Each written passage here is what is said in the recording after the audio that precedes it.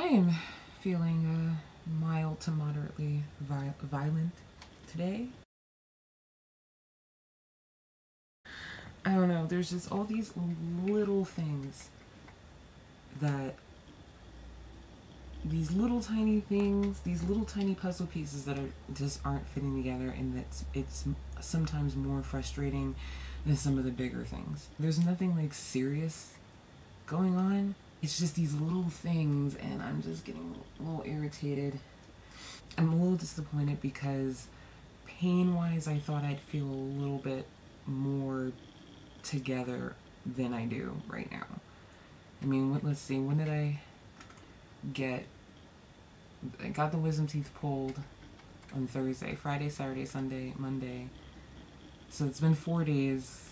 Uh, well, I guess that's still, I don't know, just very hard on myself. And I'm like, I should be feeling better by now. I'm not in excruciating pain and nothing, I mean, I don't. Get back in here. Cat. Oh. I already missed a bunch of volunteer days, which weren't my regular days, because my regular days are Wednesday and Thursday. Thursday, I went ahead and got my teeth pulled, and I figured, okay, well, I'll be back Wednesday, and I figured, okay, that's almost a week. That's plenty of time to not feel like trash. I made the appointment to get my teeth pulled before I even knew what the October schedule was going to be. So I didn't realize that there was like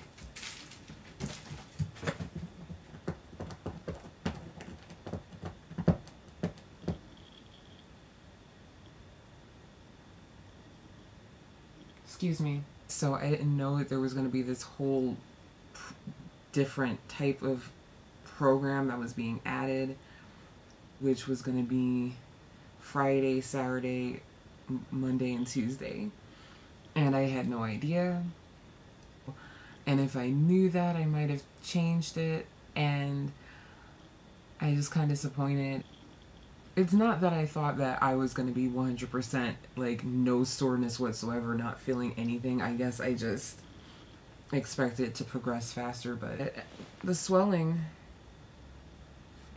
visibly it's pretty much gone like i i can still feel the area where it's um the pain pain wise it's actually better and worse at the same time because before it was just basically my whole mouth my whole like lower face hurt now it's it's narrowed down to just the corners which is a good thing because obviously I'm not in as much pain, but at the same time it's a bad thing because it's like the pain, it seems like it's just more of a relentless soreness.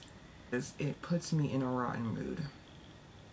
I'm trying to lay the heck off the Vicodin because I don't know what it is, but every time I get prescribed, I get prescribed Vicodin, there's some sort of drama around it. I don't know. I'm not allergic to Vicodin or anything, but my body just doesn't uh doesn't seem to metabolize it well. Did take it like every six hours the first two days, but after that I was kind of more focused on taking it in the in eve um, taking it in the morning and at night. The third day I only took it. I think I took like a half a tablet in the morning because that's when it was like really sore and then maybe later on that night i think i took half a tablet and but i did take a full pill last night i woke up hours later that stuff was still in my system it honestly as far as the the effect of somnolence it has on me it's as bad as seroquel i mean it's like except for just minus the drool i didn't take any at all today. And I was like so tired. I was so effing tired. And I'm like, okay, maybe I shouldn't have taken it at night. It was just the pain started flaring up, and I didn't want the pain to prevent me from going to sleep. I still took a sleep aid because I have chronic insomnia and Vicodin was only going to go so far for keeping me asleep, but it, eh, eh, I screwed up. Oh my gosh. It took hours before I stopped nodding off. When I finally stopped nodding off at like 1 o'clock in the afternoon, I felt high as a kite. Like just up there, and it felt like my eyeballs were floating. Some of you might have had that feeling before if you like had too much, way too much coffee. You feel this odd situation going on in the back of your eyeballs, and it feels like your eyeballs are floating. And that's I was just like, oh my gosh, I, can, I cannot take any more Vicodin.